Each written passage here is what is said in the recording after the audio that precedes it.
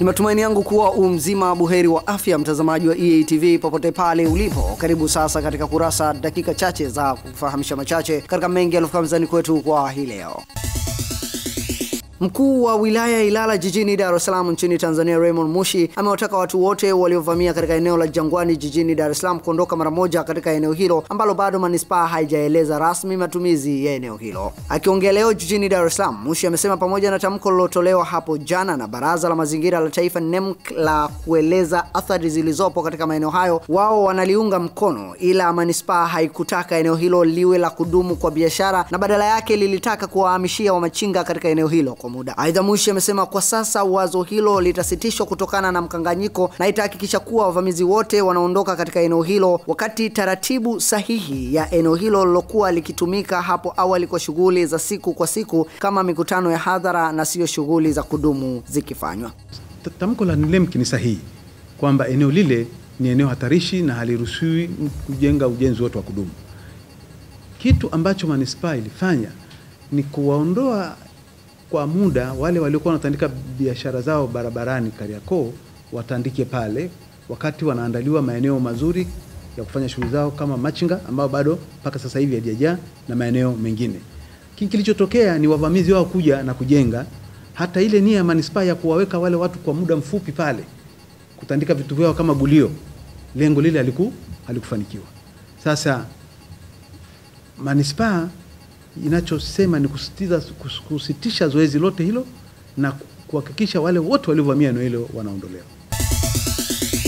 Tuendelee na kurasa. Uandikishaji wa wapiga kura katika daftari la kudumu la wapiga kura kwenye zoezi linaloendelea jijini Dar es Salaam kwa sasa linaendelea vizuri katika baadhi ya maeneo jijini Dar es Salaam licha ya changamoto za hapa na pale. Kurasa leo imetembelea vituo kadhaa katika mitaa ya Mikocheni A na kukuta zoezi hilo likiendelea kwa utaratibu mzuri, huku wananchi wakielezea kuwa kwa sasa hawakuona tatizo lolote. Show hapa sio mbaya sana, kwa sababu haina vurugu na wala haina tatizo yote, ila tunapata foleni tu kama kawaida na ipo katika utulivu. Uh, kwa kweli sisi ni wafanyakazi wa industry kwa hiyo hata mitaani kwetu tumeona ni vigumu sana kwenda kujiandikisha, imebidi tuje maeneo haya, napo utaratibu wao naona sio mbaya sana, ni mzuri. Naishi Kijitonyama Alimaua, pale foleni yake si mchezo watu mpaka saa kumi usiku wanaamka, kiasi kwamba hata sisi watu ambao tunawai makazini tunashindwa. Kwa hiyo inabidi tuje maeneo ya kazi kuja kujiandikisha.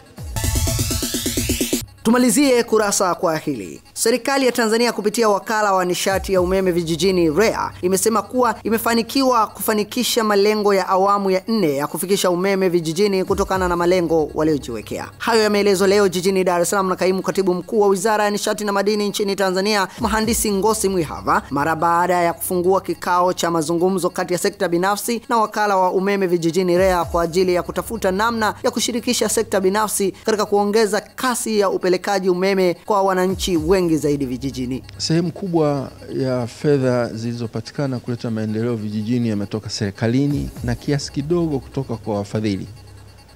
Um, private participation imekuwa kidogo, na tumegundua kwamba imekuwa kidogo kwa sababu watu wengi hawaelewi vizuri changamoto zilizopo na hali ya baadaye itakuwaje endapo watawekeza katika umeme. Kwa hiyo kikao hiki tuna watu mbalimbali watakaojaribu kufafanua na kuweka wazi namna ambavyo wakishiriki na mabenki yakishiriki, athari ambazo wanaziogopa sasa zinaweza zikaondolewa.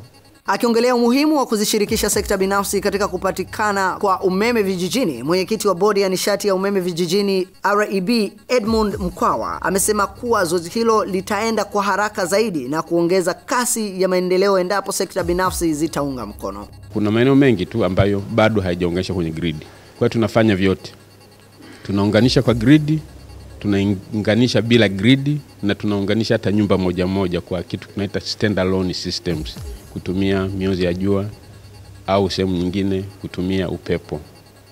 Hayo yote tunayafanya. Kwa hiyo hizo changamoto zipo, lakini zinatufanya tufikiri zaidi ni jinsi gani ambavyo tunaweza tukaharakisha hiyo huduma, maana kila Mtanzania anaisubiri.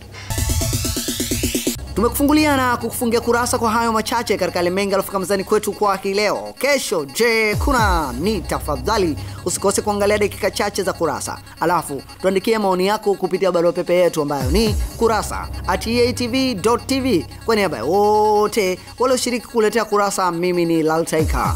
Noah Laltaika. Kurasa